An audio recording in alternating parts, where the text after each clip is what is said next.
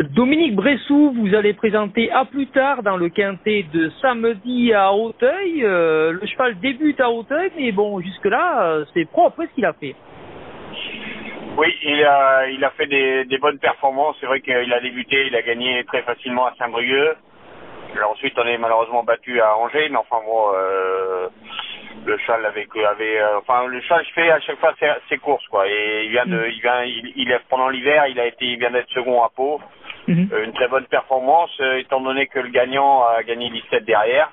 Oui. Donc euh, je, trouve que c'est une bonne, une bonne prestation euh, en peu de courses quoi. Enfin des bonnes prestations en peu de courses quoi.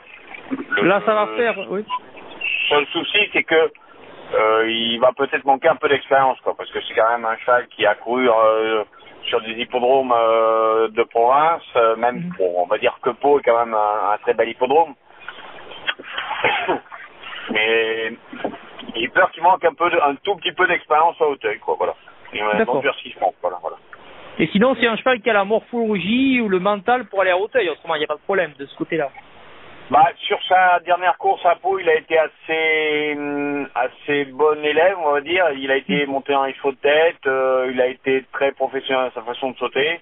Mhm. Euh, Je trouve que Auteuil pour- peut être euh, peut être une pour moi une suite logique. D'accord. Et, et le fait là qu'il y ait un peu plus de deux mois d'écart d'intervalle avec sa dernière course, il est prêt, il n'y a pas de souci de ce côté-là autrement. Pour moi, je pense qu'il est prêt. Euh, J'ai pas été trop embêté par le temps par, par le temps euh, dernièrement, enfin à part la semaine dernière où je pense que tout le monde a été dans la même dans la même situation que que nous à, à Dragé. Mhm. Donc euh, non non, mais je pense que le chat il est prêt.